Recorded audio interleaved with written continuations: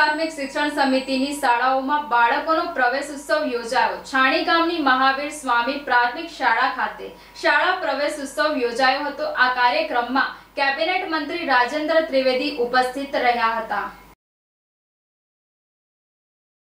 નગર પ્રાથમિક શિક્ષણ સમિતિ વડોદરા દ્વારા તારીખ ત્રેવીસ, ચોવીસ, પચીસ જૂનના રોજ ગુજરાત સરકારના માર્ગદર્શન અને શિક્ષણ વિભાગની રાહબારી હેઠળ શિક્ષણ સમિતિની શાળાઓમાં પ્રવેશ ઉત્સવનું આયોજન કરવામાં આવ્યું છે.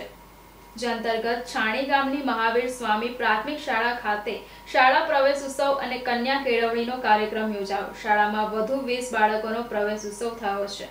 નગર પ્રાથમિક શિક્ષણ સમિતિની એકસો વીસ શાળામાં સતત ત્રણ દિવસ આ કાર્યક્રમ યોજાઈ રહ્યો છે. આજરોજ છાણી ગામની મહાવીર સ્વામી પ્રાથમિક શાળા ખાતે કેબિનેટ મંત્રી રાજેન્દ્ર ત્રિવેદી પહોંચ્યા હતા. મહેસૂલ અને કાયદા મંત્રીએ જણાવ્યું હતું કે, બાળકોને સાચું જ્ઞાન મળે તે માટે શિક્ષકોએ પ્રેમાળ સ્વભાવ રાખવો જરૂરી છે. હું પણ શિક્ષણ સમિતિનો ચેરમેન હતો. શાળા એ શિક્ષાઓ અને વિદ્યાર્થીઓ દરેકે સમયસર આવવું જોઈએ. આજના કાર્યક્રમમાં હું એક મિનિટ પહેલા આવ્યો છું. શિક્ષકો સાચું શિક્ષણ પૂરતું જ્ઞાન આપે આ કુમળા બાળકો છે. તત્કાલીન મુખ્યમંત્રી નરેન્દ્ર મોદીએ આ શિક્ષણોત્સવ કન્યા કેળવણી કાર્યક્રમની શરૂઆત કરાવી હતી. ડ્રોપ આઉટ રેશિયો ઘટ્યો છે. ગુજરાતનું શિક્ષણ ઘણું સારું છે. જૂના મકાનો હોવા છતાં ખૂબ જ મજબૂત શાળાઓ છે. ખાનગી શાળામાંથી સેંકડો વિદ્યાર્થીઓ સરકારી શાળામાં પ્રવેશ મેળવી રહ્યા છે તેવું જણાવ્યું હતું. વધુમાં આજે જ્યારે મંત્રીશ્રીએ પ્રવેશ ઉત્સવ કરાવ્યો હતો ત્યારે એક વાલીએ પોતાના દિવ્યાંગ બાળકને પણ પ્રવેશ અપાવ્યો હતો, જે બાળક ચાલી પણ નથી શકતો.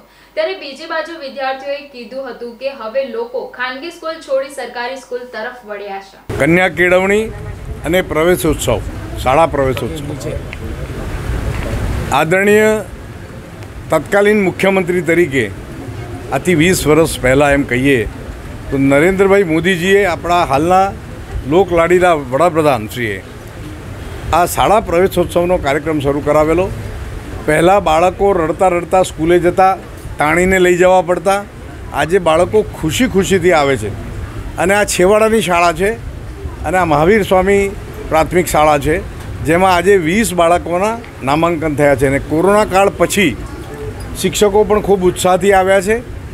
નવા બાળકો આવ્યા છે, તેમને પણ ભણવા, ભણવાનો ઉત્સાહ શિક્ષકો વધારશે.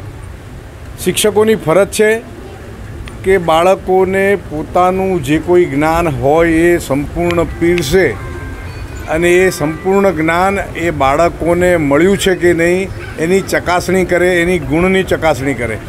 અને વર્ષાંતે શિક્ષકને એવો ખ્યાલ આવવો જોઈએ કે મેં બાળકને પૂરેપૂરું જ્ઞાન આપ્યું છે, જે આપવા પાત્ર હતું. જો શિક્ષક એમાંથી ઊણો ઉતરે, તો શિક્ષકને એનું ભારોભાર રંજ હોવો જોઈએ, દુઃખ હોવું જોઈએ.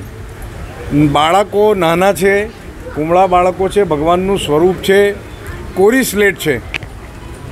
એ એવી માટી છે કે તમે એને ઘડીને એને ઘડતર આલવાનું છે. અને એ ઘડતર આપવામાં જો ચૂક થાય, તો એ સમાજની અંદર ખૂબ મોટો અપરાધ શિક્ષક કરે છે.